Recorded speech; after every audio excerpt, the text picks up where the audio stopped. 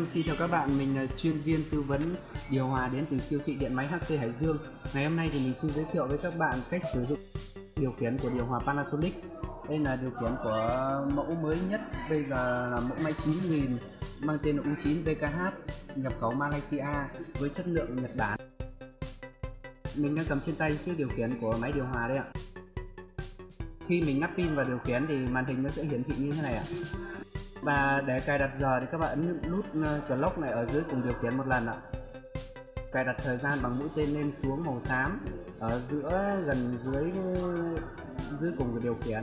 Khi hoàn tất cài đặt thì các bạn ấn nút clock lại một lần nữa. Để khởi động máy thì các bạn ờ, bật điều hòa bằng cái nút cam ở trên cùng ạ. Thì màn hình sẽ hiển thị như này ạ.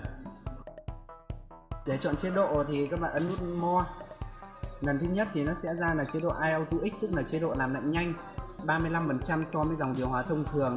Đối với chế độ này thì điều hòa sẽ hoạt động tối đa công suất là cho phòng làm lạnh và làm mát nhanh nhất.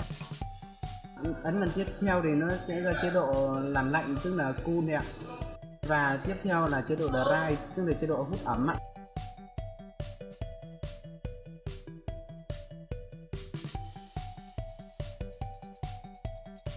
Đây là mũi tên lên xuống để điều chỉnh nhiệt độ. Nhiệt độ tối đa có thể cho phép là 30 độ, nhiệt độ tối thiểu là 16 độ nhưng mà để tiết kiệm điện thì các ờ, bạn nên ờ, cài đặt tầm 24 cho đến 26 độ. Cái mức là sử dụng điều hòa tiết kiệm điện nhất. Cái thứ nhất và cái thứ hai là để tránh chênh lệch nhiệt độ quá sốc ờ, khi bước ra khỏi phòng ạ.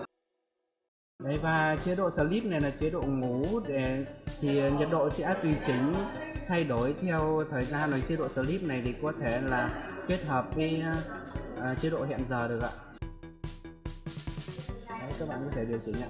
Và quay ớt quay ớt này là cái nút giữ im lặng ạ để giảm cái âm thanh do quạt và luồng gió phát ra.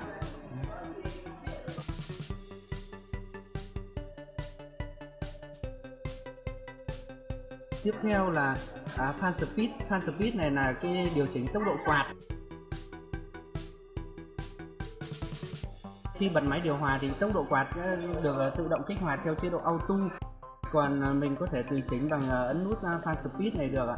Còn khi các bạn đang ở chế độ làm lạnh nhanh như iAuto X thì chế độ quạt đã mặc mặc định là auto rồi không thể điều chỉnh được ạ.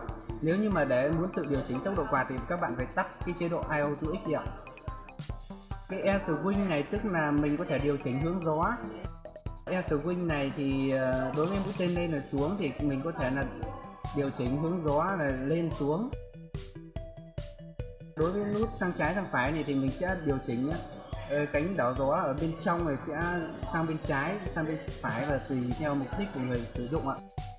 Còn ờ, để cài đặt từ chế độ hẹn giờ thì các bạn ấn nút on ở trên chữ tham rồi ạ để cài đặt chế độ hẹn giờ. Cuối cùng mình xin giới thiệu cho các bạn là cái chế độ lọc không khí của điều hòa Panasonic. Ờ, đối với chế độ lọc không khí này thì sẽ được tự kích hoạt khi điều hòa đã bật rồi ạ.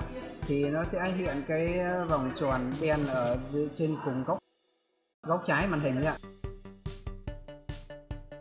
Trường hợp mà phòng nhà mình có nhiều bụi bẩn mà mình không nhất thiết uh, sử dụng điều hòa thì các bạn có thể tắt hẳn điều hòa đi ạ.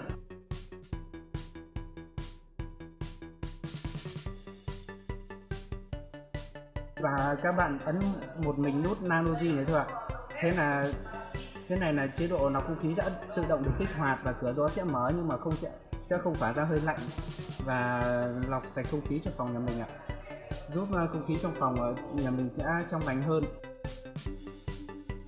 Vâng, mình vừa hướng dẫn các bạn cách sử dụng điều khiển của điều hòa Panasonic.